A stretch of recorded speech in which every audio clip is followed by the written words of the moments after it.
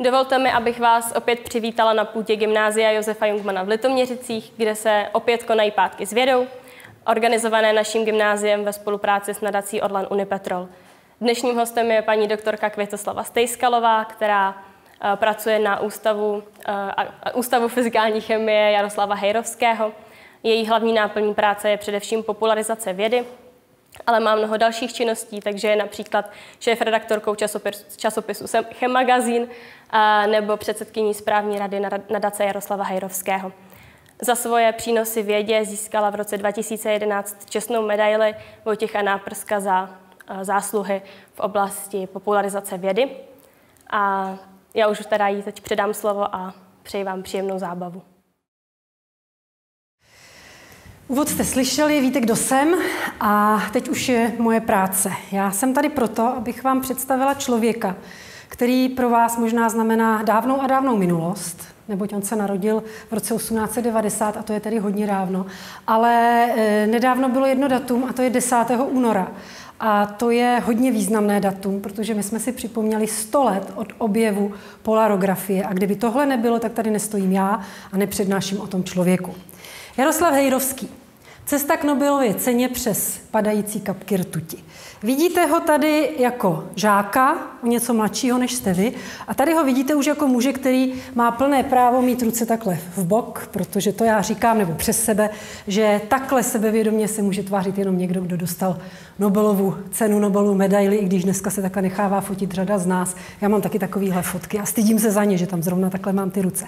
Takže to už je Hejrovský po Nobelovce. Pokrok vědy spočívá především na mladých lidech, ti musí dostat všemožné podněty, aby našli ve vědě svou perspektivu, řekl Jaroslav Hejrovský. Já říkám, že by se to mohlo i vytesat. A nejenom proto, že mám tu úctu k němu, ale protože ten výrok je nesmírně pravdivý a není jenom o vědě, je o čemkoliv. Podívejte se, my si to trošku rozebereme. Spočívá na mladých lidech, to snad je logické. Když nebudou mladí, kteří přijdou po nás, co budou něco dělat, co jsme my začali, nebo naopak budou dělat něco úplně jiného, tak nepůjde ten pokrok dopředu, to je jasné. A musí dostávat podněty, protože jsme sice homo sapiens, sapiens, člověk velice moudrý, ale nechováme se mnohdy moudře. A některým je nám dobře, že jsme zalezlé v té ulitě a nemusíme nic dělat. Takže když šnek je zalezlý v ulitě, pamatujete si to, že jste jako děti do něj šťourali, aby on vylez, podíval se, co se děje a začal něco dělat. Tak takhle my třeba dospělí do vás, do našich dětí nebo do našich žáků. Šťoucháme, šťouráme, abyste něco dělali, co je smysluplné. My to tak vnímáme, vy zatím ne, ale pak to taky tak začnete vnímat, najdete se v tom a třeba to bude krásně prožitý váš život. A aby našli ve vědě svou perspektivu, zase ta věda, ano, jsem vědec, nebo bývalý vědec, je potřeba. Ale je potřeba, aby každý obor měl svoje nové nástupce. A je to jenom na vás tady. Jestli chcete někdo hrát hokej a budete v něm dobrý a bude vás to uspokojovat a pak budete trénovat malí děti, dělejte to. Chcete být baletkou dobrou, dělejte to. Chcete být lékařem, to je skvělý, ale všichni na tom makejte a makejte tak, že někdy nestačíte, jste zadejchaný, ale to je právě to tempo, který potřebujete. Nikdy se nezrodilo nic z toho, že jste leželi na gauči, nebo ti, ty osobnosti leželi na gauči a ně, o něčem přemýšleli. Většinou je to tak, že ti lidé jsou v úzkých, ale v úzkých i třeba tak, že jsou nemocní nebo jim zrovna někdo umírá. A v tom vznikají ty největší myšlenky, ty nejkrásnější díla. Prostě to je život, tak to je, tak to měl i Hejrovský. Tady na tom obrázku Jenom bych ráda ukázala, že tu máme pár log a to první je právě 100 let polarografie, takže to je to významné výročí, o čem budu hovořit. Můj domovský ústav, z kterého pocházím a výstava Příběh kapky, která o tomhle člověku je a k té se ještě třeba dostaneme. Strašně důležité a zásadní je, aby když o někom má být přednáška, tak jako já tady dneska přednáším, tak co se musí zásadního stát? Já to vždycky pokládám tuhle tu myšlenku studentům. Můžete mi někdo říct, co se musí zásadního stát, abych já tady byla a přednášela o Hejrovském? On je to absurdní, až to uslyšíte, tak se budete smát. Zavolá to někdo na mě. Ten člověk se musí Výborně, ten člověk se musí narodit, což ale vůbec není jeho zásluha. To, že jsme se narodili já, vy, paní ředitelka, všichni tady, tak to není naše zásluha. Koho je to zásluha? genetického materiálu dvou lidí, dvou pohlavních buněk, které splynou. Já to schválně takhle přenáším do té biologie, protože ta si je s tou chemií tak blízko a s fyzikou, že se to někdy až překrývá. Kde máme ty pohlavní buňky? Tady. Leopold Hejrovský a Klára Hejrovská rozená Hanlová. To byli jeho rodiče. A dalších dětí, celkem jich bylo pět. Někde se dočtete, že jich bylo šest, tak abych to uvedla na pravou míru. Ano, bylo jich šest, ale chlapec v pořadí druhý s jménem Karlík umřel jako malé batole, čili pět žijících dětí Hejrovského. Ve zdrojích se nám to tedy o to jedno číslo liší. Co byli ti rodiče? Právník, který eh, jeden rok byl také dokonce rektorem Univerzity Karlovy a byl to právník římského práva, vysokoškolský pedagog, člověk, který byl obklopen řadou lidí společného jim vlastností a eh, jaksi koníčku a podobně. A mezi těmi lidmi, kterými se Hejrovský obklopoval, byli literáti jako Gebauer, umělci, dokonce i jeden filozof, který strašně rád jezdil na koni, v takové uniformě s čepicí v bílém saku. A když se proháněl po lánech, tak kdo to asi tak byl, kdo se mohl po lánech prohánět? Tomáš Garik Masaryk. To byl jeho přítel, chodili spolu na Malé straně do Sokola. Co maminka? Žádné povolání, ne protože by ta žena se ničem nenašla, ale protože ženy té doby, konce 19. století, neměly to takové, aby se realizovaly v nějakých eh, svých koníčcích nebo kariérách. Kariérou takové ženy bylo se vdát a mít děti a dělat tu rodinu tomu svému mužovi. A u Kláry to bylo tak, že ona se vdala z lásky. To také nebylo e, úplně typické pro tu dobu a ty vrstvy, z kterých ti lidé pocházeli. Oni pocházeli z vyšších vrstev, sociálně dobře zajištěných. Takže tam se většinou o sňatcích mluvilo za jejich zády a ti mladí si pak byli představeni. Tihle dva se potkali za určitých okolností a zamilovali se a taky jim bylo potom vlastně umožněno, že se vzali a strávili spolu celý život a měli těch dětí jako smetí, by se dalo říct. A my je tady máme. Máme tady eh, rodinnou fotografii, kdy vidíte otce, sedící maminku, nejstarší hejrovského sestra Klára, Helenka s Marií, Jaroslav, tady něco recituje a vypráví, a Leopold nejmladší, který sedí mamince na klíně. Já jsem to možná řekla v úvodu, tak to zopakuju. Jaroslav Hejrovský se narodil v roce 1890 a to chvíli před Vánoci 20. prosince. A abychom to trošičku odlehčili a přenesli se do té doby, tak já jsem si tady přinesla jednu z knížek z naší výstavy. Jmenuje se Mezi vědci a umělci. A přečtu vám takový odstaveček. A je to o tom, jak viděla narození svého bratra nejstarší sestra Klára, která se stala potom malířkou a byla také skvělou literátkou. E, tak si to poslechněte a možná, že se i zasmějete těm výrazům, které ona tam volí a tu situaci tím popisuje. Někdy k nám chodí ta paní babička, která chodila koupat Helenku, když se narodila. Přišla na večeři, snad budeme mít nové miminko. Vždycky, když spím v jiném pokoji, narodí se nám malé dítě. Celou noc se mi zdá o malých dětech a v poledne, když přijdu ze školy, Vede nás tatínek všechny tři do ložnice a povídá. Pojďte se podívat, máme něco nového. Vedle maminky leží malý bratříček. Maminka nás všechny hladí a ukazuje nám spícího chlapečka. Má dlouhé řasy a husté tmavé vlásky. Tam se tatínka v jeho pokoji, jak se bude hošiček jmenovat. Tatínek se usmívá a šeptá mi do ucha. Jaroslav. Jsou zase slavné křtiny. Sejde se celé příbuzenstvo. Teta Róza, která vždycky přijde pomoci, když je mnoho práce, peče mandlové branky, napodobené ořechy, biskupské chlebíčky, pusinky, dorty a vanilkové máslo. Maminka má nový župan, růžově, modře a krémově pruhovaný. Sedí na pohovce a slzí. Veselá tetička se dívá a říká, proč pláčeš? Já bych na tvém místě se smála radostí, kdybych měla takové čtyři rostomilé děti. Maminka odpovídá, že pláče jen pohnutím, když si vzpomene, jaké asi osudy její děti budou mít. Tak takhle to viděla Klára, které bylo pár let, začala chodit do školy a myslím, že to je úsměvné, když tatínek řekne, pojďte se podívat, máme něco nového. No ale to jsou muži. Tak, zpátky k tomu jejich, k té jejich rodince. Tyhle ty dva domy, to je ten týž dům, mohli bychom si říct, najdi několik rozdílů. Jeden rozdíl, který mi dělá velikou radost, je v tom, že tohle to byla ještě ruina, která měla vybrakovaný vnitřek a vypadalo to, že se to možná strhne. Eh, protože to byl také záměr ten dům uvést do takového stavu, aby se tam možná postavilo něco nového. Je to dům na Kocandě, kde se Jaroslav Hejrovský narodil. Tady na dveřmi je to napsáno. To je rok 2008, kdy jsem si ho fotila, než začala výstava. A tohle už je tak asi rok, možná rok a půl zpátky, kdy ten dům je opravený.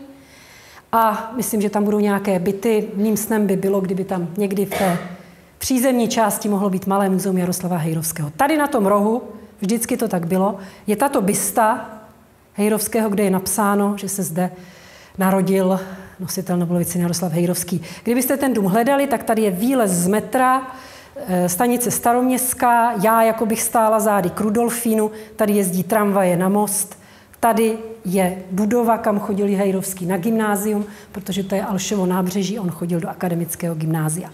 To dětství bylo krásné, protože ti rodiče těm svým dětem umožnili eh, se vyžívat v jejich koníčcích, což byla velice často hudba. Tady to máme, Hejrovský hraje na klavír. Začínal s, se skladbami našich autorů, ale potom šel do cizích partitur. Jeho oblíbeným eh, hudebním skladatelem byl Richard Wagner, německý skladatel těžká hudba. A Hejrovský chodil na hodiny hry na klavír k Bertě Škroupové, a kdyby vám jméno Škrou připadalo povědomé, tak její dědeček byl autor naší hymny hudby.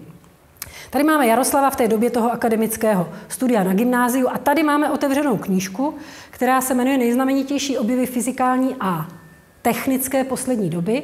Napsal ji Jaroslav Jeništa, což byl fyzikář Hejrovského, člen vlastně takové skupiny matematiků a fyziků. A proč to připomínám? No, protože tuhle tu knížku měli doma ve své knihovně a v té knížce je první kapitola, která se jmenuje o rentgenových paprscích X. Konrad Rentgen je nositel Nobelovy ceny za fyziku, první nositel Nobelovy ceny za fyziku z roku 1901. Proč to tak jako zdůraznuju a připomínám a fušuju fyzikům do řemesla? Protože hejroští kluci, Jaroslav s Leopoldem, to byli hlavně chemici. A ti kluci eh, vynikali tím, že dělali chemické pokusy doma. A e, kdo je děláte nebo znáte a dostáváte se do, do laboratoře, tak víte, že řada chemických pokusů končí katastrofou, když to teda není zrovna výbuch nebo požár, tak vznikne nějaká látka, která je buď to štiplavá, že vás dusí a kýcháte, anebo vůbec je hodně smradlavá, že vás prostě stejně vypudí z těch prostor té vaší improvizované laboratoře. To byla kuchyň doma, vyrobili salmiak syntézou HCl a NH3, čili NH4Cl. A to tak, že jim ten salmiak prostě dýmal a oni museli vyvětrat. A protože to byli muži inteligentní, tak nevětrali jenom oknem, ale větrali i dveřmi naproti a větrali do domu. Takže domem na Kocandě prostě pronikal salmiák i pode dveřmi do těch partají a otec večer musel vysvětlovat ostatním nájemníkům, že prostě kluky potrestá. Potrestal je tak, že jim přinesl přístroj z univerzity, aby je nasměroval od chemie k fyzice. Nevím, co to bylo za toho asistenta na fakultě, tenkrát nebyla přírodovědecká, ale filozofická, kde se učili tyto předměty a on mu dal vyřazený rentgenův přístroj, že je nepoužitelný, protože je nefunkční. To by bylo, aby ho kluci hejrovští nesfunkčnili. Takže oni si s ním tak dlouho rozebírali a hráli, až lampa byla funkční, až přístroj začal fungovat. A tahle ta knížka, kterou měli, je skvělý návod, protože tam nepředpokládá se, že má někdo doma rentgenův přístroj. Tam je to psané tak, jako že někdo v laboratoři ho má a tak, jak, jak má rentgenovat. Je tam naprosto přesně postup, co má dělat a tak kluci tohle to přesně dělali. Eh, tady máme jeden z jejich objektů, který rentgenovali. Poznáte asi, že je to rybička a asi poznáte kostřička, teda rybičky, jak to s tou rybičkou asi dopadlo. Rybička zemřela, ale může být šťastná v nebi, protože byla jedním schůdkem k Nobelově ceně Jaroslava Hejrovského. Jináč si ti kluci rentgenovali takhle ruku a pak byly vidět, že jo, ty kosti té, té, toho zápěstí a těch prstů a ze zadu k těm fotografiím psali text a posílali to jako novoročenku svým spolužákům. Takže takový to byli borci.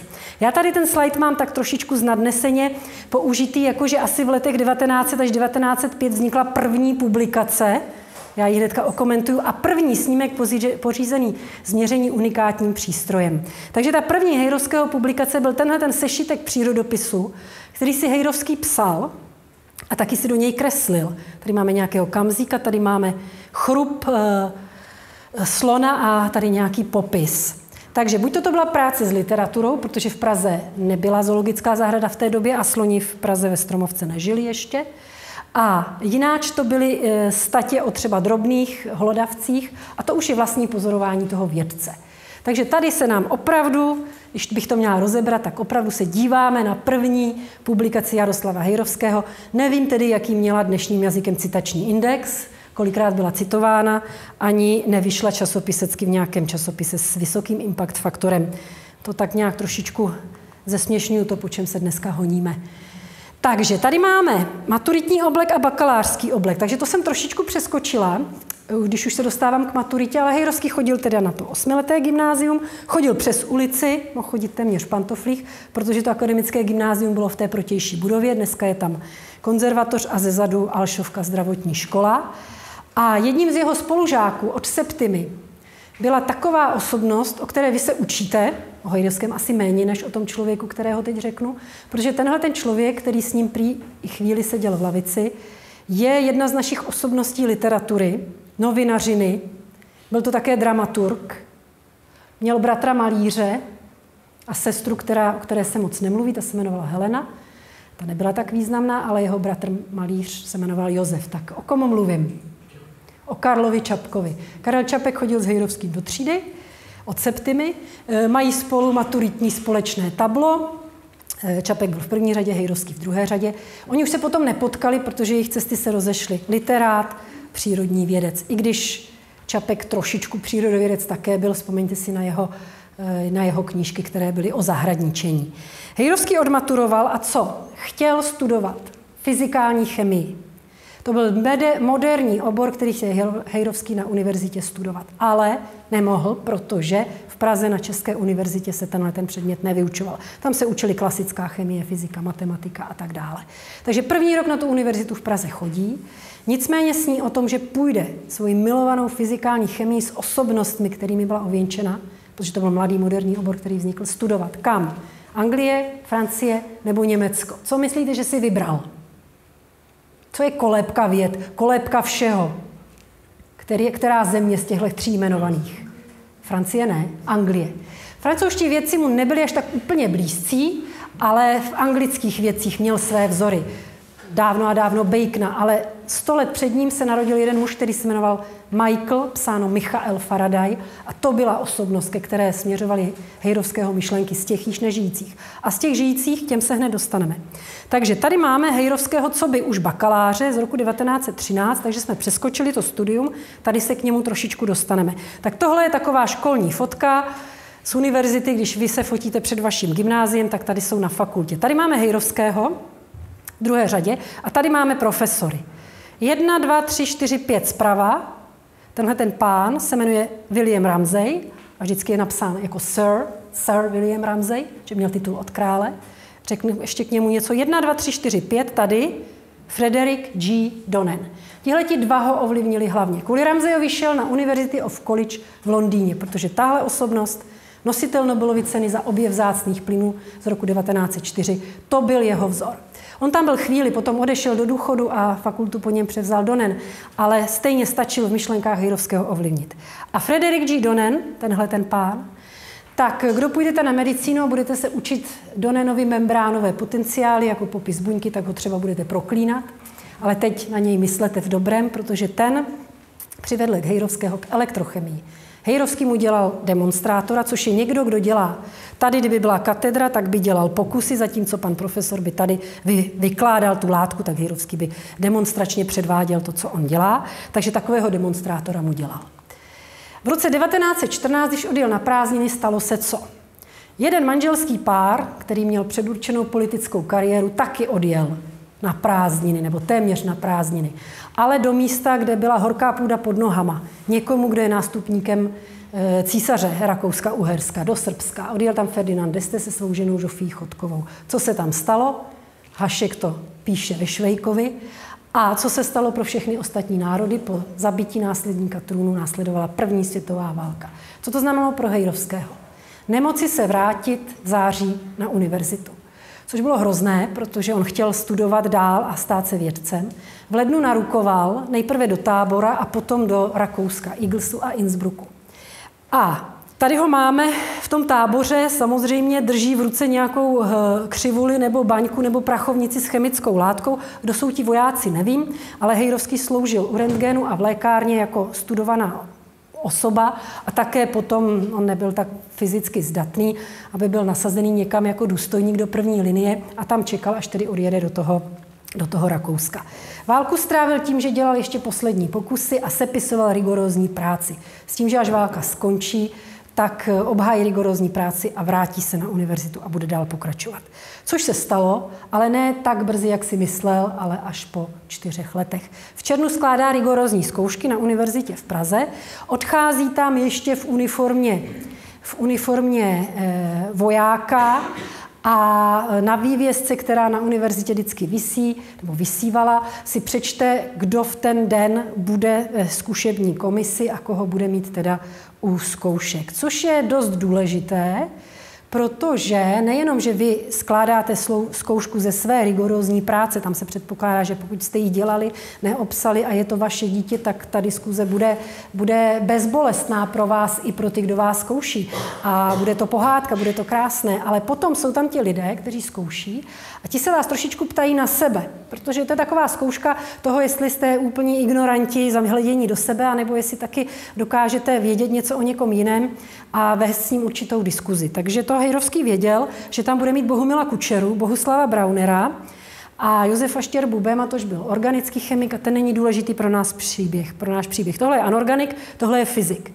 A tohle je to, kolem čeho je hejrovského život. To je aparatura s kapilárou a na konci vykapává rtuťová kapička. K tomu se dostanu. Takže Hejrovský věděl, že bude teda to rigorózum a byl na něj připraven. Zkouška proběhla perfektně, co se týkalo jeho práce, elektroaffinity aluminia, což bylo téma jeho. Eh, a potom přišly ty dotazy. Kučera vyrukoval se svým tématem. Kučera byl fyzik a řadu fyziků zajímala rtuť, jakožto fenomenálního materiálu, který je za pokojové teploty. Jednak kov je to pořád, ale za pokojové teploty je kapalný a má unikátní vlastnosti. Jeho hlavně zajímal vztah povrchového napětí, když rtuť vykapává do roztoku jiných látek, tak jaké je tam to povrchové napětí, jak je ovlivňováno těmi látkami. A dělal to takovým způsobem, že prostě vykapávala rtuť právě z té skleněné kapiláry pod hladinu roztoku s rozpuštěnými jonty. Na rtuť byla přivedena elektřina v podobě stejnosměrného napětí, Eh, měřili se nebo vážili se kapičky rtuti, počítalo se povrchové napětí, vynášely se křivky, říká se jim elektrokapilární. Proč to říkám? Protože to je zásadní. Kučera měl s těmito měřeními svoje problémy určité, protože mu vždycky na vrcholu těch parabolických křivek uteklo pár bodů a ta křivka, a to se neustále opakovalo a ty křivky byly takhle, takhle poškozené těmi anomáliemi a on na to jako fyzik nemohl přijít. Teď má před sebou fyzikálního chemika Hejrovského a tak nastolí tenhle ten problém a začnou spolu diskutovat. A samozřejmě, že v tu chvíli Hejrovský e, nemá odpověď na tu otázku, i když o těch anomálích věděl, ale snaží se naznačovat určitá řešení, co by se tam asi tak mohlo dít. Poslouchá je Brauner, který kouří, protože v určitých zdrojích jsem četla, že eh, Browner sedí, sedíce vedle bafaje ze svého doutníku. Tak si představte, že vyděláte rigorózum, potíte se a někdo si tam prostě takhle báňá. Jo? Tak může, už je to pan profesor. A on dodal něco v tom smyslu, jako tohle to nám, pane kolego, může vysvětlit jenom fyzikální chemik a máme ho tady před sebou. Takže v zápětí dostává od Braunera Hejrovský nabídku, aby pracoval na katedře eh, anorganické chemie, učil tam a současně začal budovat program předmětu, který se bude jmenovat fyzikální chemie, to znamená přednášky vymyslet, praktika cvičení. No a Kučera nechce přijít zkrátka, tak okamžitě spěchá se svojí nabídkou, která není teda nabídkou povolání, ale nabídkou toho, aby jako elektrochemik po večerech, když vyšetří čas, k němu chodil na fyziku a tam měřil s tou kapající rtutí a snažil se to fyzikálně chemicky vysvětlit. Takže Hejrovský dostává dvě nabídky, obou se jich chápe. Tady tahle ta nabídka je o tom, že bude mít živobytí a bude zakládat fyzikální chemii. Tady je to o tom, že bude řešit zajímavý fyzikálně chemický problém a když jste mladý vědec, tak chcete řešit problémy, nechcete dělat, co už někdo vymyslel. A vy se díváte na obrázek, který zešel vlastně z toho prvního obrázku tam na té straně. To už je více rozkreslené, jak vypadá ta aparatura a co se tam děje. A to je něco, k čemu se dostaneme, za co byla ta Nobelova cena a čehož si připomínáme 10. února z té výročí. Stojan, nádobka se rtutí, tady je rtuť, tady je gumová hadice, která dole je ukončena tlustostěnou trubkou skleněnou, které se říká kapilár a z ní tady dole se tlačí kapička rtuti malilinkatá, menší než milimetr, ta tam vykapává. Vidíte, že v té nádobce je hladina, to znamená, že roztok rozpuštěných iontů, dejme tomu, že tam máme nějaké chloridy, tady máme ty kationty, za chvíli se k tomu dostanu, ten je tady uvnitř, dole je dno pokryté rtutí, ta rtuť také vykapává na to dno. A co je zásadní? Baterie, to znamená stejnosměrné napětí, jeden drát tady do skleněné trubky, která vede na dno, je naplněná rtutí, druhý drát sem. A ty dráty jsou přivedeny k, té, k tomu zdroji té baterie. Tady je potenciometr, potenciostat tedy, který nám odvětvuje napětí od nuly někam. A to napětí vypouštíte na ty elektrody, vkládáte ho. Tahle jedna, čili ta kapička, ta má vložené to napětí, ta je polarizovatelná a dole je ta, ta elektroda, která není, která se nepolarizuje. Tak, tohle to, co je tady vložené, to G, nejprve, jako kdyby tam nebylo. Tak to bylo to měření Hejrovského, které dělal téměř pod mě v laboratoři, která byla buď to úplně tmavá nebo sešeřelá. Svítila mu tam lampička, teď vykapávali ty kapičky té rtuti. To měření bylo o tom, že vy je počítáte, vážíte, pak něco přepočítáte, vynesete povrchové napětí, dostáváte elektrokapilární křivky, šup nahoře vám to uteče a máte zase ty problémy. Jeho to rozčilovalo, proto ta měření přerušoval. Eh, Kučera se netrpělivě ptal, jak to je. Trval na tom, aby to dělal vážením těch kapek rtuti. Hejrovský potom eh, měřil čas kapky, takže od toho se trošičku odchýlil. 16. dubna 1921 Kučera umírá, Hejrovský stále to nemá uzavřené a už je celý nesvůj. Ale je to okamžik, kdy může udělat jednu věc. Na konci roku 21 se jednoho dne toho sešeřelého večera zdravě naštve a vy víte, že když se chlap naštve, tak nastanou dvě věci. Buď to je něco progresivního, něco se stane, něco je krásného a vznikne něco, anebo něco hrozně rozbije. Ale pak taky třeba něco zase vznikne. Jo? Takže stalo se to první, že Hejrovský se zdravě naštval, přestal to dělat tak, jak chtěl Kučera, přines galvanometr, což je tohleto G, zapojil ho do toho obvodu, takováhle banalita. A změřil čísla na tom galvanometru a vynesl je do grafu a díval se, co se děje. Když si ta čísla vynesl do grafu na milimetrový papír, tak zjistil, že dostává křivky, ale ne přímky, ale takové divné zvlněné čáry, kde jsou takové bouličky. Namíchal další roztoky, to byl sklonek roku 1921, měřil i o Silvestru a na Nový rok. Namíchal další roztoky, hrál si s koncentrací a ty zvlněné čáry se mu posouvaly, ty bouličky na nich, co říkám já, bouličky, on to nazval nějaký náš, to se dozvíte, tak ty se posouvají dolů nebo nahoru a zvětšují se a zmenšují se. 10. února zařadil lepší galvanometr, že on neměřil každý den, mezi tím byly proluky, který byl zrcátkový, dobře měřil a ty bouličky, ty kopečky opravdu byly pěkné a opravdu nad sebou seděly a posouvaly se. Tady máme list z 9. února, z 10. nemáme, ale 10. se ozvalo takové to wow dneska, tenkrát to bylo heuréka, by se dalo říct, protože to bylo to archimedovské. Objevil jsem, protože mu to docvaklo. Já vkládám napětí na ty elektrody, vevnitř pod tou hladinou mám nějaký roztok. A co se děje? No ten roztok to je, bych řekla, něco živého. To jsou jonty s kladným a záporným nábojem. A hlavně ty kladné, ty jsou přitahované tou kapičkou rtuti, která má záporný náboj. Ty jonty to obklopí, tu kapičku rtuti a k něčemu dojde. Dojde ke vzniku elektrického proudu, protože tam dojde k výměně elektronů. Přidávají se nebo se odebírají elektrony a tím vzniká elektrický proud. A ten proud se vám projeví tak, že když ho tedy naměříte a vynesete, tak najednou vidíte, že má nějaký charakter. A vy tady vidíte třeba na tomhle obrázku, jaký má charakter. Tohle to jsou ty bouličky, kterým Hejrovský říkal později polarografické vlny, polarografické schody. Vlny tedy spíš, polarografická křivka. A oni nám na něco ukazují. Na xové ose je totiž vyneseno napětí a na y se vynáší proud. A my vidíme, že pokud je tam jont mědi, tak ten udělá tu vlnku, tu bouličku při nějakém napětí. Tady jinde udělá olovo, jinde kadmium, jinde zinek, mangán, hliník a bárium. Když namíchám nové roztoky o nižších koncentracích, tak dostanu o nižších koncentracích, dostanu ty schody menší, takové mělké, ale dostanu je ve stejných místech. Takže ta křivka by byla tady pod tím, ale byla by mělká a nedosáhla by tak vysoko. Změním koncentraci, uberu některé jonty, oni mi vymizí určité ty schody. Takže s tímhle tím si ten Hejrovský takhle hrál a docvaklo mu.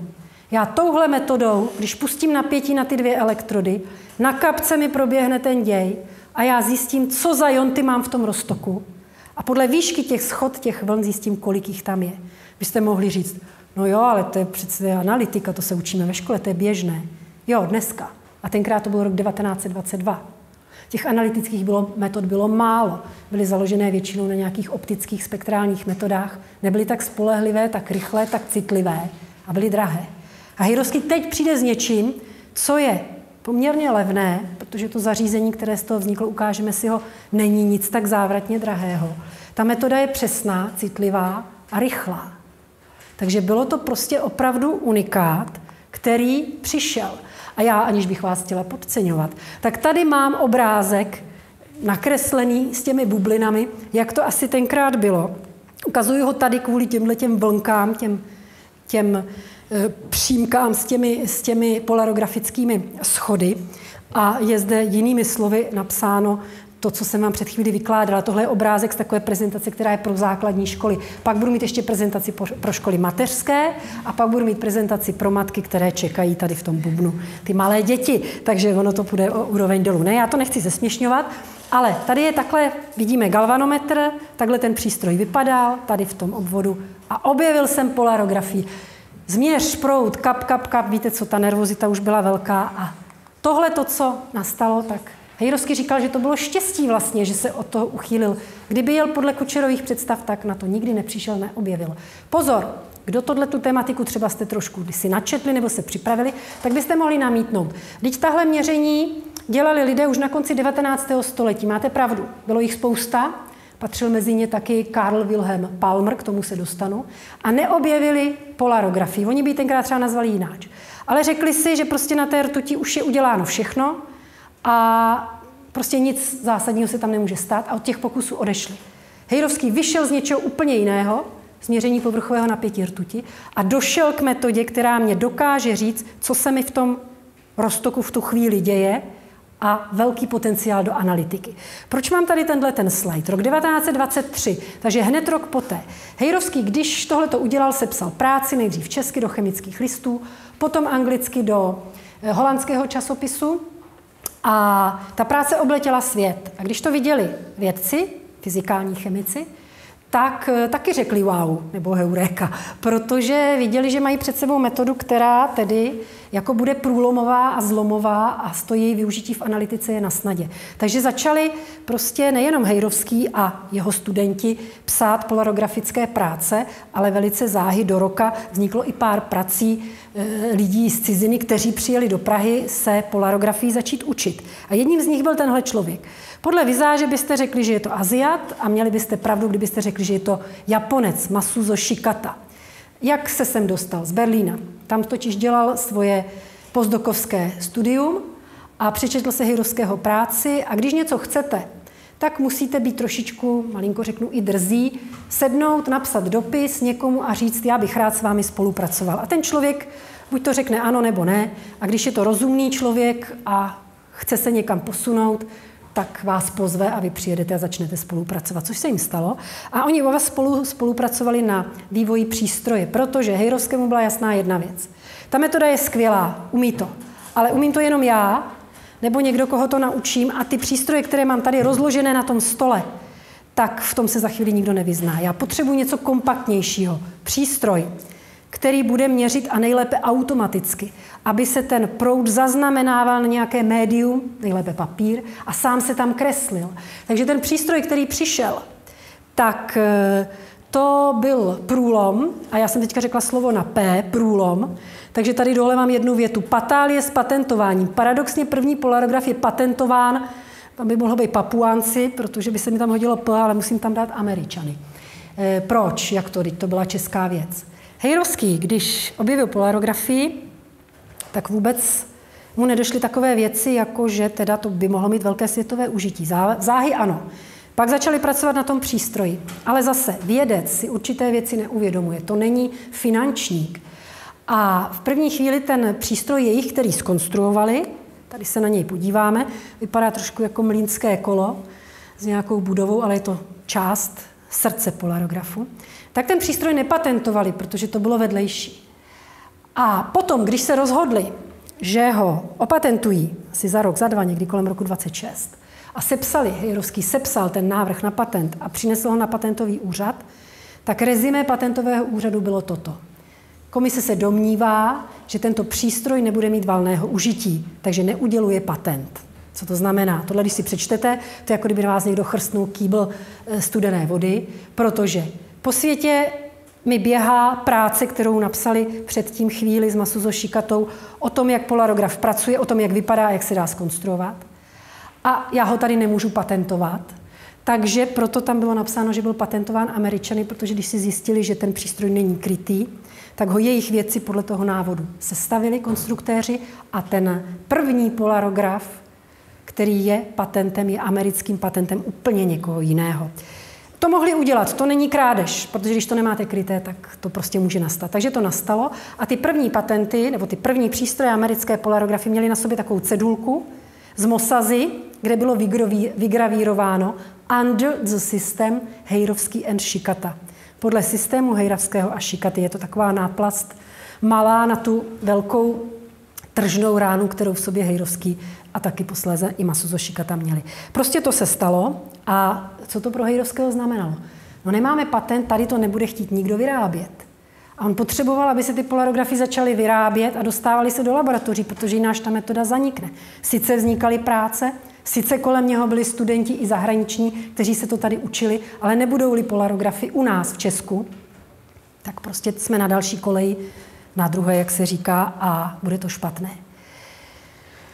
Hejrovskému do cesty, ještě než řeknu tohleto, přihrál život náhodu, zase jedno náhodu, jedno štěstí. On měl žáka, který se jmenoval Vladimír Nejedlý. A Vladimír Nejedlý byl, by se po dnešku řeklo, eh, továrnický synek. Jeho otec byl výrobce polarimetrů. Polarimetry jsou přístroje na měření roztoku té cukerné břečky v cukrovaru, kdy vyrábíte cukr. A mladý, říká se, že mladý nejedlý přišel tedy za otcem a řekl, že by mohli změnit to svoje výrobní portfolio. Trošičku zamlčel ty patálie s patentováním, ale že by mohli změnit to portfolio a mohli by začít vyrábět polarografy, což je přístroj jeho pana profesora, a že to teda je špica, že to půjde na odbyt a že to prostě bude jako velký boom. Starý, asi jeho otec si nechal poradit, šel do toho risku a skutečně se to vyplatilo, protože pak se ty polografy hodně prodávaly a ta výrobní série, za chvilku si je ukážeme. No jo, jenomže Hejrovský není jenom vědec, ale je to také muž. Abych se vrátila na úplný začátek, je to také muž se svým genetickým materiálem, který chce do něčeho otisknout. A k tomu potřebuje ženu, a to tuto dívku Marii Kořánovou, která byla tou nejskvělejší volbou, kterou mohl mít. Za prvý teda se měli rádi a za druhý to byla tichá dívka, která byla chytrá, pracovitá a hlavně mu byla vždycky takovou tou oporou, která stojí kruček za ním. Protože muž je ješitná bytost, muž je mm, bytost, která chce spoustu věcí zvládnout a pak potřebuje to zázemí a to on v té Marii měl. A jako vědec na ní přehrával nejenom celou rodinu, ale ona, mi, ona mu potom byla i asistentkou, vlastně když byl ředitelem Polarigrafického ústavu. Marie přišla do Prahy, aby tam studovala filozofii. Oni byli stálení přes dvě kolena příbuzní, takže navštěvovala jejich rodinu a e, chodili spolu do divadla, na koncerty, Zamilovali se a pak už to šlo zásnuby a tohle je svatební fotografie. Byl to velice mladý pokrokový pár, protože ta svatba byla jenom o nich dvou a svědcích, dokonce tam neměli teda ani rodiče, což myslím, že nebylo zrovna nejlepší, měli civilní obřad a po svatbě odjeli na pobyt do Krkonoš. Tady máme Hejrovského na lyžích, jak s Marí brázdí zřejmě tedy za pomocí Kristiánky, což byl brzdící styl té doby, eh, kopce v Krkonoších. A pak následovaly další fotografie, ty máme na výstavě, jak sedí třeba na pláži ve Francii, protože další cesta půlroční byla na Sorbonu do Paříže, kde poznal takové profesory, jako byla Marie Curie Sklodovská a její kolegové a tak dále. Tady je máme už tedy na, nechci říct přímo sklonku života, ale později, kdy spolu jdou po Václavském náměstí. Víte, ta Nobelovka je i pro Marii, protože kdyby Hejrovský neměl to zázemí, které měl od té doby v 26 letech se oženil, tak by ta Nobelovka nebyla. Eh, on sám to říkal, mám to tady napsané, že měl veliké štěstí, jednak ten obor, který si vybral, a jednak to, že eh, měl družku, kterou si vybral a tam mu stála celý život po tom boku. Přišla rodina. Tady je máme Hejdovského z Marí a tady máme Jitku a Michaela. Jitka a Michal se jmenují po osobnostech, které byly po, pro Hejrovského velikánským vzorem. Jitka je po Gutě a já myslím, že to té Gutě, která se jmenovala Habsburská a byla první ženou Václava II., takže nevím, koho máte na dějepis a co jste se o Václavi učili. Byla to skvělá žena, dcera Rudolfa Habsburského, mimochodem to byl zase ten, kdo Václava připravil o jeho otce, přemyslel Takara II., ale nakonec Václav si k němu cestu našel. A Guta mu porodila eh, spoustu dětí a v 26 letech zemřela. Hejrovský, protože historie byla jeho koníčkem, tak Guta byla osobností, která si zasloužila, aby její jméno se otisklo do hejrovského dcery. 1929 se narodila Jitka. Michael 1932, o tři roky později, ten se jmenuje zase po Michaelu Faradajovi. Tady máme jako už starší samozřejmě spolu udržovali stále styky a hlavně Jitka Černá rozená Hejrovská a Michal Hejrovský jsou zakladatelé nadačního fondu Jaroslava Hejrovského. Já jsem teď momentálně mám tu čest být předsedkyní správní rady a tenhle ten fond se trošičku zabývá tím, že odměňuje nadané mladé studenty. Předáváme jim jednou za rok cenu. Tady máme webovské stránky. P jako polarografická škola. Polarografická škola není barák, když to řeknu takhle ošklivě, jako je váš dům tady, ale je to virtuální škola. Jo? Ta nesídlí v žádné, žádné budově. Je to škola, která se vytvoří kolem osobnosti, která založí nějaký obor. Hejrovský založil polarografii a od těch 23. 4. roku, tady je obrázek, kde, kdybychom to mohli přečíst, tak je tam nějaký květen 26. Tohle jsou Hejrovského mladí studenti, kolegové, kteří stojí vedle něj. On je tady uprostřed. Takže Mladí lidé chtěli dělat nové věci, proto se na tu polarografii tak nabalili. Jak tu zemští, tak zahraniční. Takže oni studovali a potom odcházeli ti zahraniční do svých zemí a na svých univerzitách nebo ve firmách zakládali polarografické laboratoře. Proto se ten obor tak šířil do světa a proto vznikalo více a více prací a řešilo se více a více problémů pomocí polarografie. Tohle je na schodech do chemárny, čili na Albertově do Ústavu přírodecké fakulty, kde je chemie. Tady naopak zase sedí někde na střeše. Tady už jsou na dvoře Polarografického ústavu a tak dále. To byla opravdu spousta lidí, ale teď bych malinko odbočila, že bylo strašně dobré v jednu chvíli, Hejrovský jim dovolil, rozepnout křídla a odejít z polarografie do jejich oboru. To je velice těžké. Když máte kolem sebe ty lidi, Hejdovský také samozřejmě stárnul, ti lidé byli už žáci jeho žáků, Brdičky a dalších. A e, jsou někteří věci, kteří chtějí, aby neustále vaši následovníci dělali to, co děláte vy. Ale Hejrovský jim v té určité době nechal, aby si odešli a zakládali nové obory. Takže v těch 50 a 60. letech vznikalo spousta nových oborů fyzikální chemie, i když všichni vzešli z polarografie, protože to byl nejvíc obor tady u nás rozvíjený. A tady se díváme na práce, na knihy, a tohle je ta první práce, jak jsem říkala, že vyšla v, tom, v těch chemických listech.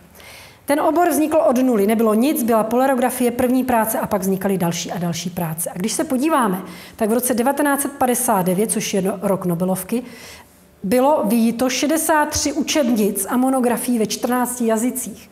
Takže kdyby polarografie neměla to užití v celém světě, no tak by se tyhle ty knihy nevydávaly a nepřekládaly a neprodávaly. A 10 tisíc bylo číslo e, prací, které bylo překročeno. Já malinko odbočím. Hejrovský žil v době, kdy se kladl velký důraz na to, že publikovat by se měly nové výsledky a ne opakovat různé jiné, které už byly publikovány, a nebo je mírně modifikovat.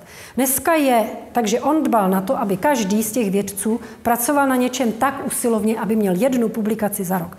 Dneska vám každý vědec řekne, no to mě vyhoděj, jako jedna publikace za rok to nemůžu. A dneska je to, řekla bych, docela inflace řady publikací, nechci teď o nikom nic říkat, ale vznikají desítky publikací, některých týmů i více za rok a ne všechny jsou tak kvalitní a ne všechny nepublikují velice blízká blízká řešení těch problémů. Takže je to taková určitá inflace. Totiž taky z pohledu dnešního, a to jsem také slyšela, se říká, že Hejrovský málo publikoval. To můžeme říct my dneska, když máme takhle nastavená měřítka. Ale on publikoval ty nové věci a skutečně jeho zájem byl publikovat zásadně nové věci. A druhá věc, nepřipisovat se na publikace, na nichž nemám podíl. A on jako ředitel mohl být napsaný na každé publikaci. Takže já, když vidím některé lidi, kteří jsou ve vysokých funkcích a mají každý rok desítky publikací, tak je to hodně o tom, že jsou od svých kolegů psáni z úcty na ty publikace nebo z jiných důvodů, ale ne z toho, že by se na nich podíleli. A tohle Hejrovský hodně pranířoval. A já jsem mu za to vděčná, že tenhle přístup měl a mohu o něm přednášet. P jako polarografický průmysl. Takže tady vidíte ten první, tady vidíte jeden z těch dalších, to není ten nejedlý, ale další typ. Tady je od nejedlého mikropolarograf, další polarograf, další. Jo? A dneska to je tak, že je to notebook a vedle je vlastně stojánek, s nádobkou a do ní jsou zasunuté ty elektrody a tam to kape. Takže to jsou naše polarografy tady u nás, to nemám ty světové. Takže když se vrátím k tomu, že ten eh, úředník patentového úřadu řekl, že to nebude mít valného užití, tak bylo, bylo na světě, když se spočítali dohromady za éru polarografy, asi 60 výrobců polarografů a uživili se na tom. Tak, tady máme hezkou fotografii z roku 58, kdy se díváme na, do pavilonu Československa, kde je pavilon věnovaný polarografii a ona tam na té výstavě Brusel Expo 58 pozbírala spoustu cen za spoustu přístrojů, co mohli. Tak, mezi roky 22 a 59 mě se podařilo najít fotografii z roku 22 a z roku 59. Mezi nimi je 37 let a to je přesně tolik let, které dělí okamžik, kdy Hejrovský získal Nobelovu cenu a kdy objevil ten jev. Víte, ono, málo komu se stane, že dostane Nobelovku pár let po tom, co ten objev učinil.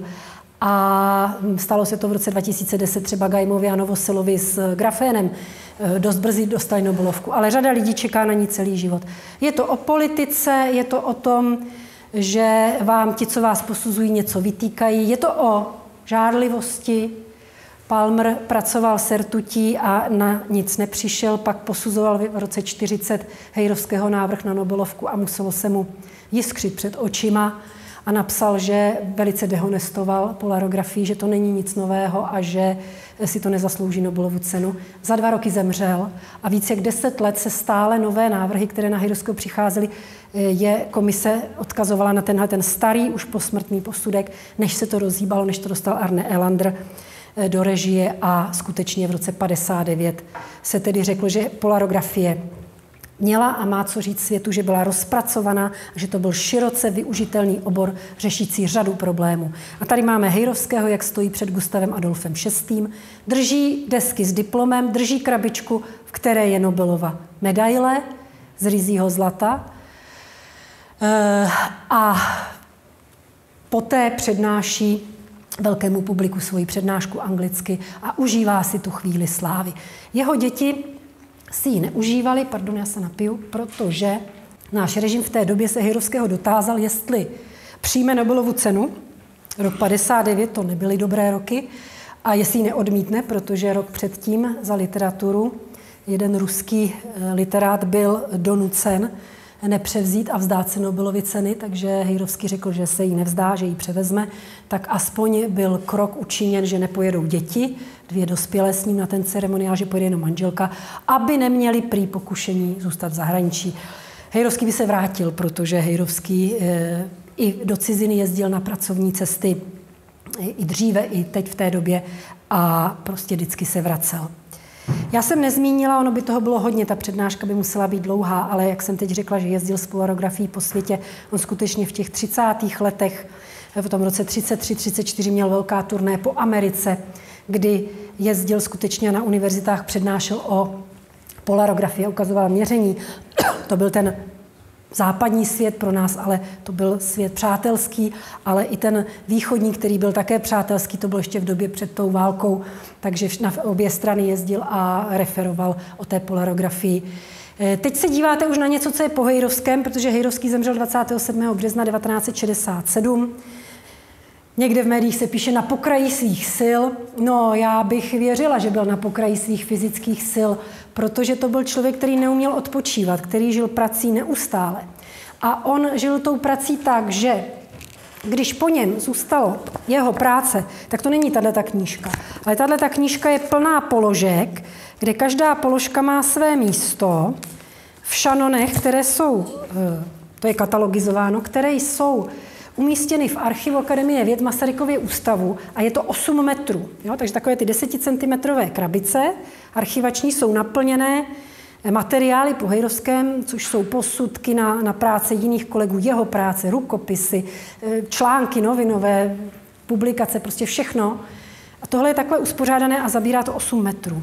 Máme to díky tomu, že Marie, když byla jeho asistentkou, tak skutečně dbala, aby ten příruční archiv, který vznikal v Polarografickém ústavu, aby byl jaksi dobře obhospodařován a když potom Hydovský zemřel, tak akademie to převzala a uspořádala to.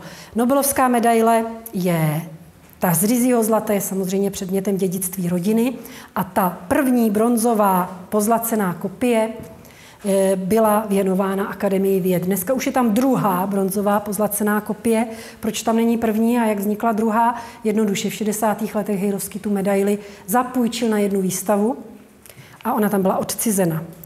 A když se podíváme, a kdybyste měli možnost tady si přečíst, co je na tom štítku na té rubové straně, tak tam je vždycky římskými číslicemi vyražen rok a normálně latinkou napsáno jméno toho laureáta. Takže tam je římský 1959 a pod tím Hejrovský. A ten laureát dostává právě tu bronzovou kopii pozlacenou, aby ji mohl taky někde ukazovat, protože ta z toho zlata se skutečně nikam sebou nenosí. A když tohle věnoval na tu výstavu, tak to někdo ukradl. Takže teď si to tak může potomci už toho zloděje tahat z toho trezoru a dívat se na to a nemůžou to nikde ukázat, protože by vlastně na sebe poukázali, že jsou zloději nebo že jejich předek byl zlodějem Nobelovské medaile. Hejrovský napsal do Štokholmu dopis, kde jim tedy vylíčil, co se mu stalo, omluvně požádal, že by rád si zaplatil, jestli by mu nenechali tedy zhotovit tu bronzovou kopii a neposlali mu ji. Ta přišla záhy, protože oni tam mají tu vaši matrici, z které ji můžou znovu tedy udělat z toho kovu a přišla s dopisem, že po něm nechtějí žádnou částku, že mu přejí hodně tedy štěstí do dalších let jeho života a že není první ani poslední, kterého něco takového potkalo.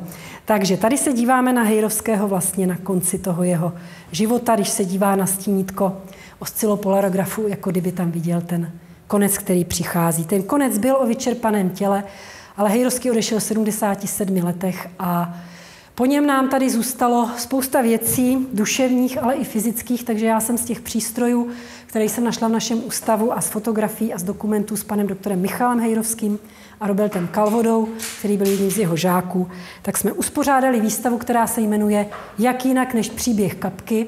A ta výstava jezdí, tady má svoje logo, to je Hejrovský a tady je malý Hejrovský a pod tím je to napsané. A ta výstava jezdí a byla už na 32 místech. Vidíte ty počty, tady vidíte pár fotografií, odkud ta výstava e, si přivezla ty fotografie, jak to tam vypadalo, když tam byla. Já jsem pro vás přivezla pár placek, které jsou stažené nejenom ke stoletům polarografie, kde to je, ale i k výstavě příběh kapky, takže budu ráda, když si je tady potom rozeberete. No a teď, protože jsem skončila, říkám, bylo by to dlouhé povídání, čas nám uplynul, tak vám dávám prostor na vaše dotazy a doufám, že budu vědět je zodpovědět. Tak prosím, kdo má dotaz, můžete se zeptat.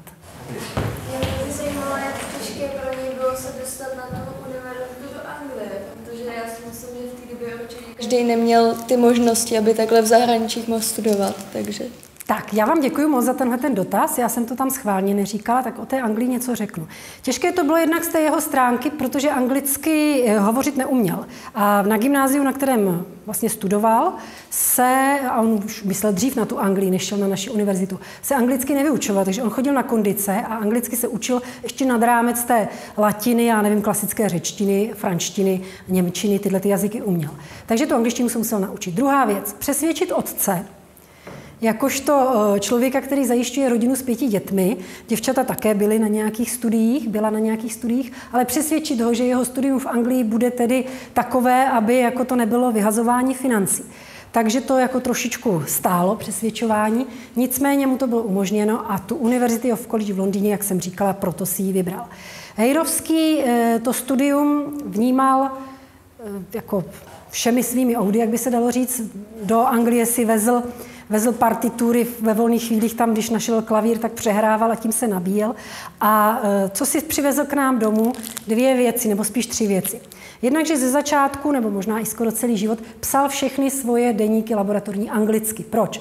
Angličtina je jazyk, kterým se vyjadřujete ve vědě velice jednoduše, striktně, češtinou je to takové moc opisování, takže angličtina. Druhý, anglický humor. Pro někoho je suchý, pro Hejrovského byl takový jako příjemný a typický. A třetí věc, poctivost. Poctivost v životě a poctivost ve vědě. On v jednou eh, vykládal, a potom je to sepsáno v jedné knížce o něm od řáka Jiřího Kority, že když byla nějaká písemka ze začátku, když tam byl krátce, tak vedle něj seděl ten žák, spolužák a on viděl, že má problémy, že má problémy s tím to spočítat. Tak mu Hejrovský takhle přisunul svůj sešit, aby si to mohl obsat. A on mu ho takhle poslal zpátky.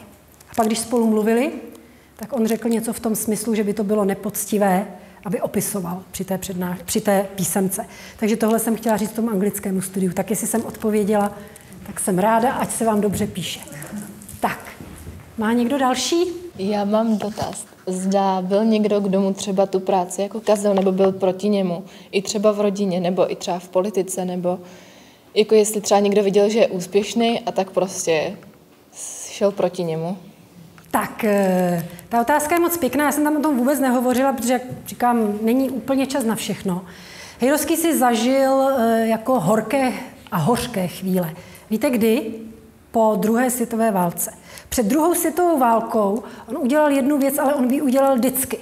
A to, že přijal Johana Béma, což byl německý vědec, který utekl před Hitlerem, protože nezdílel názory tedy německého, německé říše, což byla řada lidí a někteří měli tu možnost odejít a utekl do, nebo odjel pracovně do Švédska a potom ho Hejrovský přijal v Praze na univerzitě, protože zase musel pryč a tam mu poskytl prostor, aby tam vyučoval.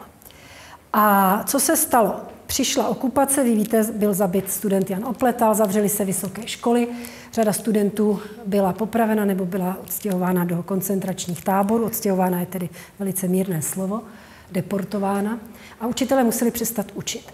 Johanovi Bémovi to bylo strašně trapné, byl příslušníkem německého národa, ale mohl na té univerzitě zůstat, protože zase úplně se teda jako neřešil jeho kádrový profil, byl to Němec, někdo ho zase někde přikryl, takže e, zůstal na univerzitě a nabídl Hejrovskému, aby dál pracoval ve své laboratoři a vyučoval, což by německy samozřejmě ovládal, ale mohl dál vědecky tvořit, byl mu zavázán a to tomu poskytl.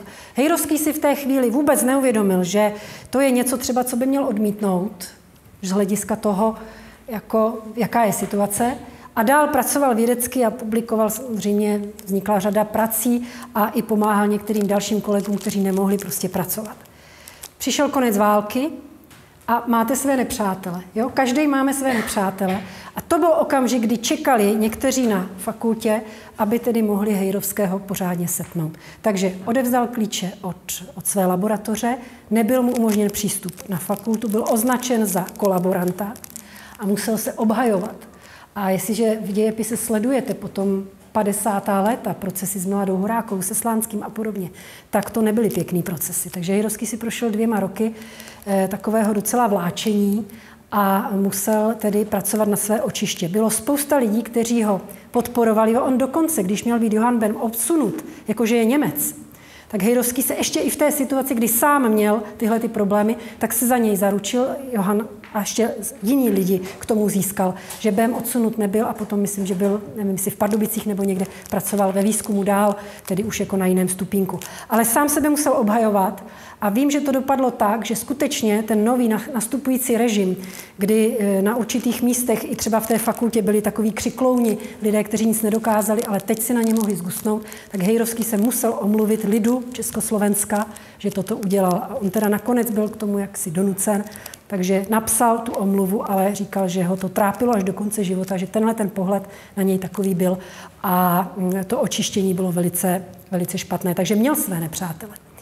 Co se týče rodiny, tak tam jaksi tohle to nenastalo, ale jak říkám v té vědě, a zvlášť, když něco umíte, tak eh, jako jste solí v očích někomu, kdo třeba tak dobrý není. Takže i tímhle tím si prošel. A po té druhé světové válce to nebylo pěkné. Já jsem se chtěla zeptat, mě jenom zajímalo, že jako chemika i jako biologa, že páry rtuti jsou jedovaté a že vlastně uh, on tak dlouho nad tím jakoby pracoval. Jste říkala, že um, zemřel jako stářím nebo únavou, čerpáním, tak jestli třeba i um, tento faktor nebyl brán v potaz, že to mohlo být nějakým způsobem také i způsobeno třeba. Ano, tak média to velice často píší, že Hejrovský zemřel na postupnou otravu rtuti. Páry rtuti jsou uh, jedovaté. Jsou jedovaté i určité sloučeniny rtuti, ale když pracujete s polarografií, jak jste tam viděli tu aparaturu, tak to je rtuť za pokojové teploty, kdy tenze jejich pár je tak nízká, že prostě vy se nemůžete jako tou rtutí kontaminovat. Samozřejmě, že vy když pracujete s tou rtutí a na té kapce té rtuti vznikají amalgámy těch jontů, které se tam Eh, vlastně vylučují, tak vy musíte potom tu rtuť čistit, jo? ta, co vykape na to dno. Tak to byla speciální laboratoř na to, vždycky všude to byla třeba i na expu v suterénu, kdy se ta rtuť destiluje. Destilace je proces, kdy zvyšujete teplotu a pracujete s tím za zvýšené teploty, takže tam jsou ty páry rtuti. Ale to je za bezpečnostních podmínek, kdy musíte něco dodržovat. On jako mladý destilar rtuť, potom už samozřejmě ne. Takže ta práce s rtutí ho nekontaminovala tak, aby byl zasažen tou otravou té rtuti, ale jak říkám, tam byly problémy, problémy oběhové a problémy jaksi s tím organismem, který, on byl z takové slabé konstituce a i tomu jídlu Hejrovský moc nedával, jo, takže, takže to bylo takové jako opravdu cel, celkové vyčerpání spíš toho organismu. Ale s tou rtutí, víte co, dneska máme Každý stav umíme pojmenovat a každou fobii umíme pojmenovat. Takže ví někdo, jak se říká fobii z rtuti? Vidíte z latinského názvu té rtuti.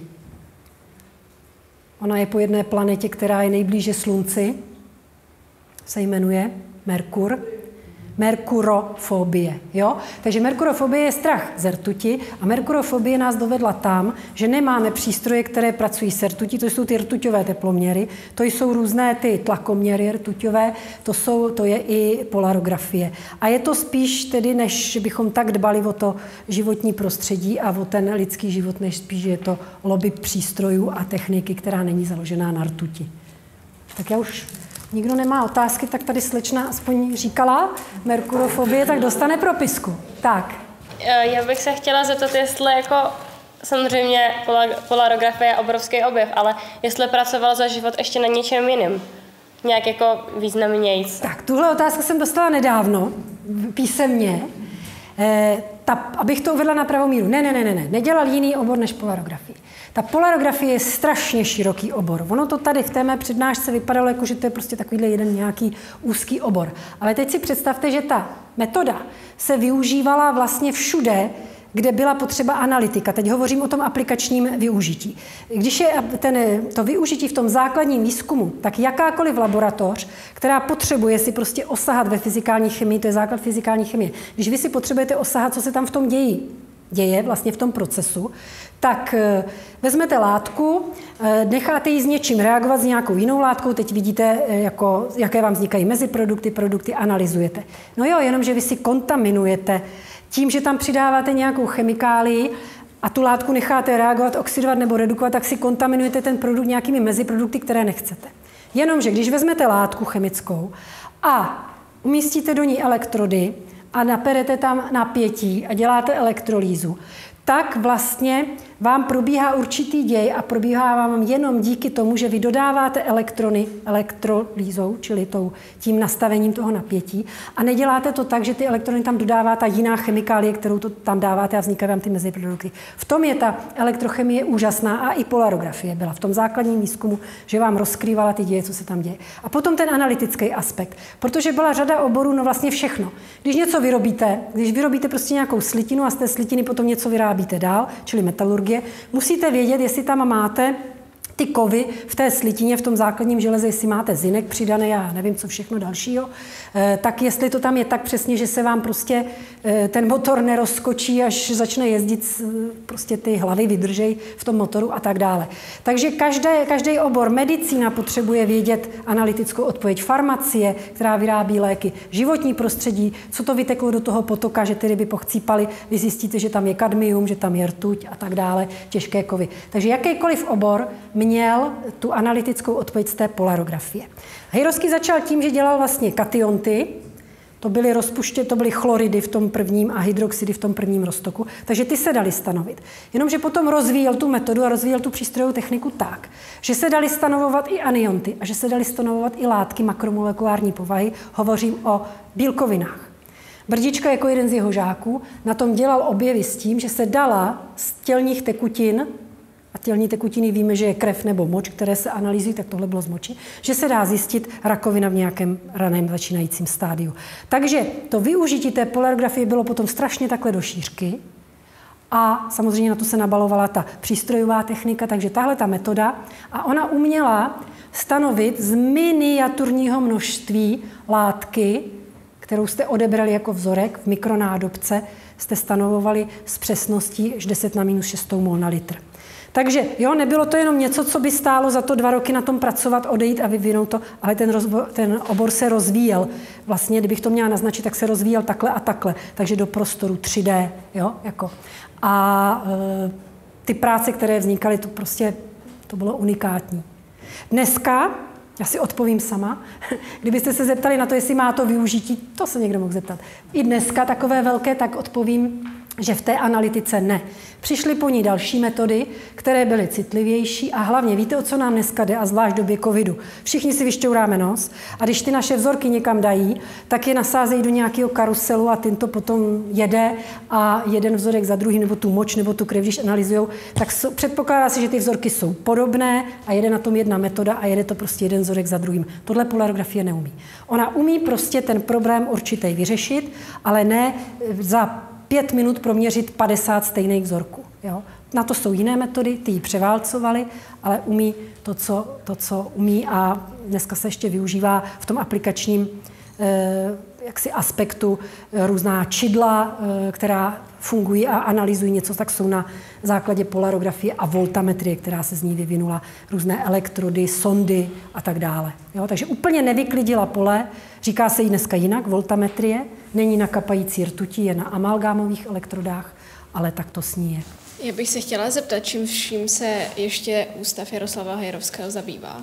Je, tak to je krásná otázka. Tak, eh, protože tahle přednáška je nahraná, tak to tam zazní aspoň. Hleďte, jak já se říká v jednu chvíli, že hejrovského žáci a žáci jeho žáků, což byly desítky lidí, odešli od té polarografie k novým fyzikálně chemickým oborům. Takže když Hejrovský zakládal tady na univerzitě pod Braunerem vlastně fyzikální chemii, stal se mimořádným profesorem, pak řádným, tak to byl obor, který hodně jako byl o polarografii a okrajově i o těch jiných fyzikálních metodách. A potom těch 50. letech a 60. bylo potřeba prostě opravdu jako tu polarografii ještě, aby někdo teda dělal, to jo, ale pak jako něco nového.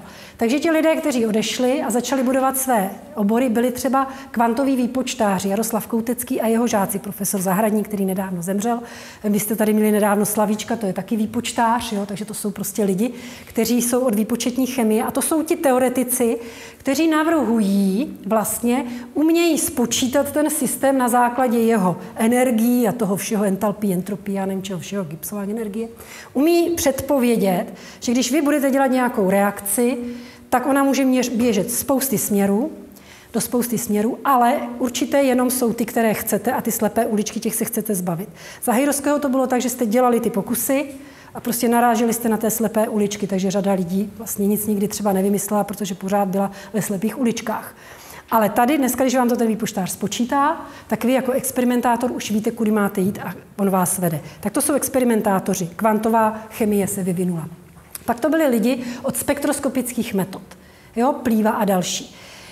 Takže to se dělá dneska u nás. Spektroskopie, to je co? Mám vzorek a posvítím na něj energii o určité vlnové délce, čili zářením určité vlnové délce a energii.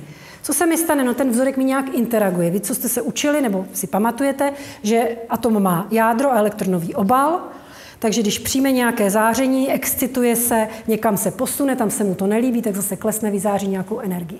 Takže my, když pracujeme se spektroskopickými metodami, tak vlastně děláme analýzu určitého prostředí a dozvídáme se, co tam je a co se tam děje. Takže to jsou spektroskopie.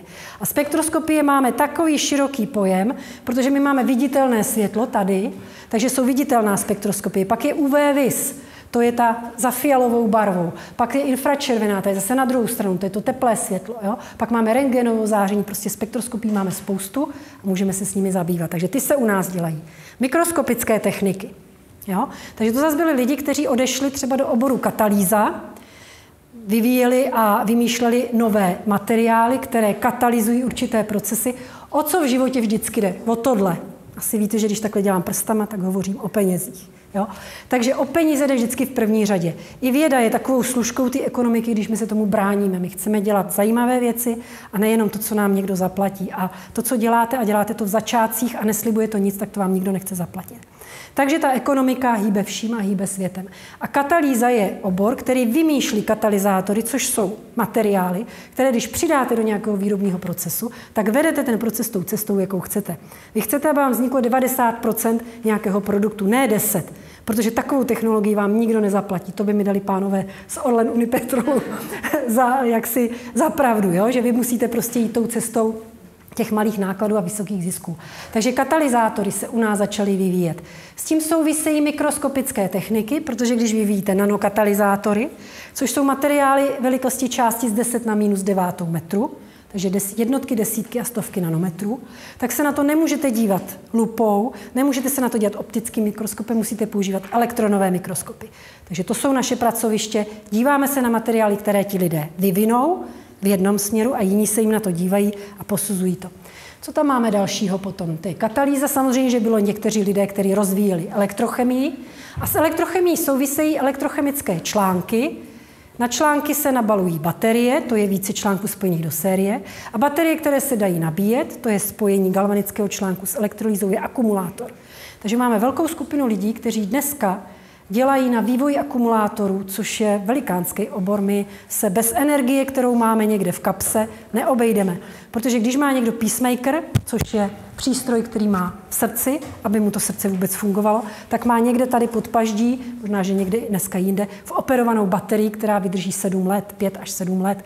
Jináč by ten člověk se pohyboval v téhle místnosti, protože by z něj čouhal drát, který by šel do do zdi. Jako jo. Takže to jsou třeba baterkáři, nebo se jim říká baterkáři, lidi, kteří vyvíjejí anorganické a organické materiály, které se dávají do těch pecek, nebo do těch článků, nebo do těch velkých, na který pak jezdí auta a podobně.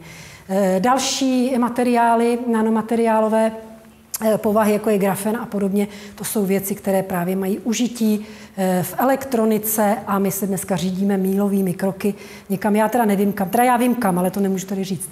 A možná, že ten vývoj je příliš rychlý a e, my potom zase spadneme a možná, že nebudeme chodit po čtyřech, jo? nebo naši potomci, až se tady něco stane, ale jako možná, že ta rychlost, kterou spídujeme dopředu, je příliš vysoká a je za vysokou cenu. Takže je u nás spousta oborů. A ta polarografie se tam zachovala. Také máme elektrochemická pracoviště, kteří hlavně v tom základním výzkumu ještě používají. Oni spolupracují třeba s organiky, ti vyvíjejí nějaké organické e, látky, a naši elektrochemici jim je krásně popíšou a řeknou, jestli je to to, co chtěl vyrobit a jestli se to hlavně bude tak chovat, jak on chce. Takže to spektrum fyzikální chemie je hrozně veliké. A kdo byste to chtěl poznat lépe, tak paní ředitelka ode mě, potom až budeme mít ještě soukromou diskuzi, dostane určité konkrétní návrhy na to, jak se k nám do ústavu můžete dostat, třeba na letní školu nebo na program z praktiky nebo na cokoliv. My jsme otevření studentům, jak se dneska říká, 24 hodin denně, 7 dní v týdnu. Jo? Takže rádi vás uvítáme. Tak, Pardon, já jsem ještě jenom úplně na závěr tady položila tři kupičky časopisu, který se jmenuje Chem Magazine.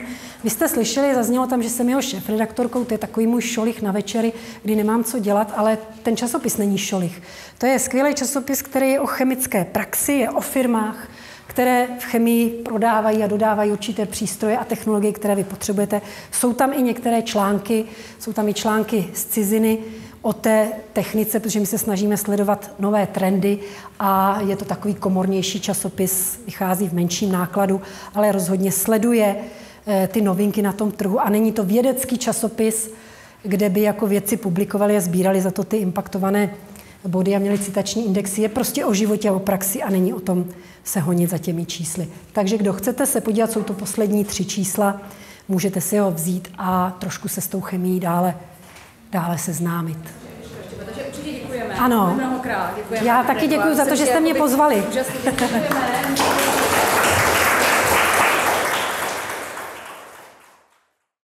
Já moc děkuji paní doktorce za přednášku, děkuji i vám, že jste se dívali a pátky s vědou budou zase příští měsíc.